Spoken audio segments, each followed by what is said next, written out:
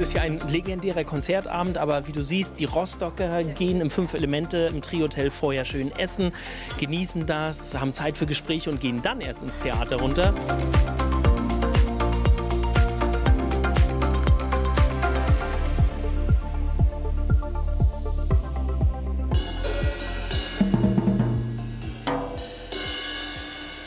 Das war das letzte Mal schon so schön und wir sind so gut äh, behütet worden. Es ist ein gutes Ambiente und das Schönste daran ist, dass man nicht irgendwie aus dem Haus raus muss und sich umziehen muss in irgendeiner blöden Garderobe.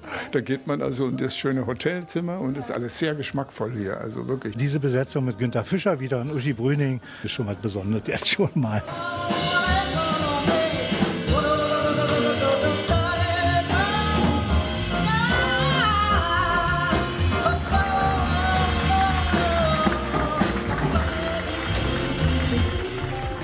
Das ist für mich eine schöne Erinnerung an alte Zeiten.